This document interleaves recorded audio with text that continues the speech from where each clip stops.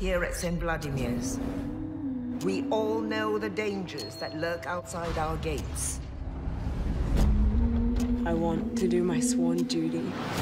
I want to protect my best friend from danger.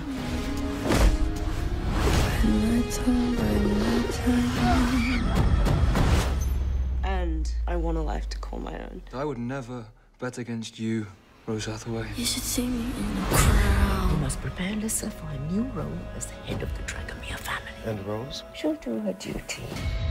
I'm the royal princess that needs protecting. Rose gives and gives, and I take and take. I can be a leader who ruled not just for the lords, but for all citizens.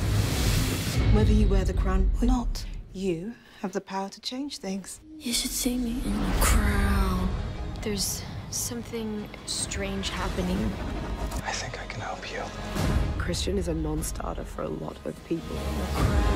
I'll be discreet. Of course, I want to put you first, but I can't.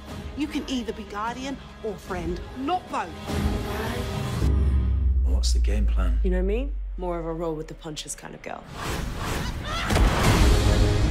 A ruler is not just any monarch. Leadership requires sacrifice for the greater good. I need to fight.